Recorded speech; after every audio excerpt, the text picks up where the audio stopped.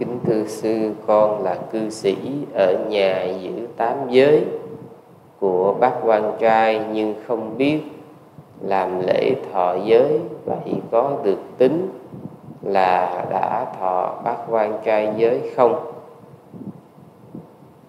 Ở chùa có làm lễ thọ bác quan trai nhưng con không thấy xả giới bác quan trai. À, nếu như mà ở nhà đó quý vị à,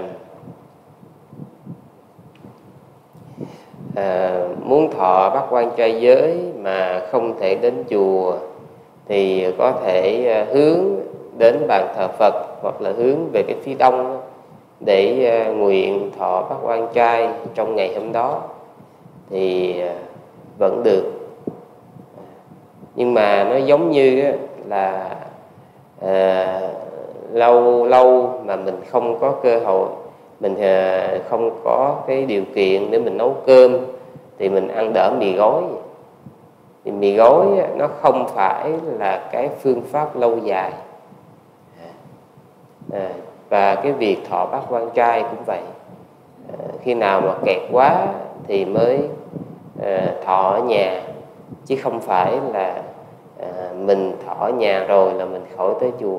À, còn à, khi mà làm lễ thọ bát quan trai là nó có cái thời hạn. À, ví dụ như thời hạn là một ngày một đêm tức là cho đến lúc rạng sáng ngày hôm sau.